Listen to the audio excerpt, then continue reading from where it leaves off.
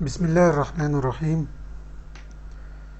في مشكلة بتقابل الطلبة بتوع تالتة إعدادي في رسم الأشعة الساقطة على المرآة المقعرة.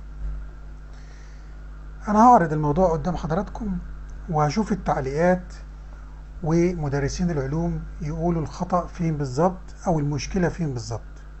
المشكلة دي بتقابل كل الطلاب بتوع تالتة إعدادي لما بيجوا يرسموا الأشعة الساقطة على مرآة مقعرة. وهناخدها بالتفصيل ونشوف رأي مدرسين ال math اللي هم رياضة ومدرسين ال science اللي هم العلوم هيقولوا رأيهم إيه في الموضوع ده بالظبط. ده المرآة المقعرة وده المحور الأصلي وده القطب وده مركز التكور البؤرة بتبقى موجودة في نصف المسافة بالظبط في المحور الأصلي ما بين القطب ومركز التكور يعني بالظبط على حسب المسطرة اللي موجودة قدامنا دي 9 سنتي.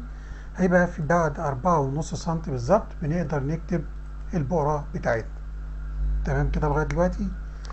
بيقول لك لو في جسم واقف عند مركز التكور الجسم ده سقط منه شعاع موازي للمحور الأصلي بينعكس مار بالبؤرة ولو في شعاع مر بالبؤرة بينعكس موازي للمحور الأصلي وبيتقاطع مع الشعاع الآخر فالمفروض إن هو بيرسم لي جسم في مركز التكور بنفس جسم الموجود حاليا. بس زي ما أنتوا شفتوا كده الطلبة لما بتيجي ترسمه بيظهر قدامهم بالشكل اللي موجود قدامكم ده. يعني معنى كده مش عارفين يرسموه صح. فالمدرسين بيريحوا دماغهم من الموضوع ده ويقول لك لا طب ارسم مثلا الجسم فوق كده وبعدين ارسم الجسم التاني تحته وبعد كده ارسم بقى الإيه؟ الأشعة. يعني بمعنى صح تحاول إيه؟ تعديها كده. طب إحنا عايزين بس نعرف المشكلة جت إزاي. أنا هقول لك المشكلة جت إزاي. لو نفترضنا إن في عندنا ده المرآة المقعرة اهيت وده المحور الأصلي وده القطب ده البؤرة وده مركز تكور وده الجسم اللي موجود. هنعمل زي المدرسين ما بتقول. هو جه الطالب هيرسم جسم تحت الجسم الأصلي بنفس الإيه؟ بنفس الارتفاع. وبعد كده هيقوم قايل له ارسم لي بقى إيه؟ الأشعة بعد كده ظبطها زي ما أنت عايز كده. طب لو افترضنا إن في مستطيل هنا. أنا الجزء ده رسمته أنا هنا إيه؟ وهمي.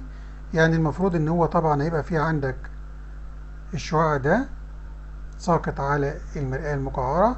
هي المفروض هينعكس عشان يوصل لرأس الجسم هنا. والشعاع التاني هينزل من ورا البؤرة وينعكس عشان يبقى واصل لنفس الجسم هنا. فهيديني شكل المستطيل اللي موجود قدامنا بالقطرين بتوعه. لو رسمت المستطيل ده بالقطرين بتوعه هتلاقي نقطة تقاطع القطرين ما هياش موجودة في نقطة البؤرة أو في مركز البؤرة وأقول لك ليه برضو هات المسطرة تاني. ارسم المسطرة كده من المركز التكور للقطب هتلاقي المستطيل هنا اترسم عند 8.5 سم مش عند 9 سم يعني معنى كده إن البؤرة المفروض تكون موجودة عند المسافة أربعة وربع مش أربعة ونص. علشان كده الشعاعين دولت ما تقابلوش عند أربعة ونص. يبقى فرق المسافة عندنا هنا فين؟ في الجزء ده. الجزء ده هو الجزء الزيادة اللي عمل المشكلة. يبقى المفروض إن هو بيقول لك من القو... من القطب لغاية مركز التكور المسافة ديت بتساوي من من من القطب للبؤره بيساوي المسافة من البؤره لمركز التكور وطبعا ده الشعاعين مش موجودين هنا في البؤره ده رأيي في الموضوع واستنظر آه تعليقات حضراتكم وتقولوا لي المشكلة اللي بتقابل الطلبة بتوع ثالثه إعدادي بتقابلهم ليه والسبب في كده إيه. ما تقوليش نرسم جزء نرسم الجسم الأول وبعد كده نرسم الأشعة. لا المفروض الطالب بيرسم الجسم وبعد كده بيرسم شعاع موازي للمحور وبينعكس في البؤرة وبعد كده بيرسم شعاع مر بالبؤرة وبينعكس موازي للمحور فيستحيل إن هو يجيب الجسمين دول جنب بعض.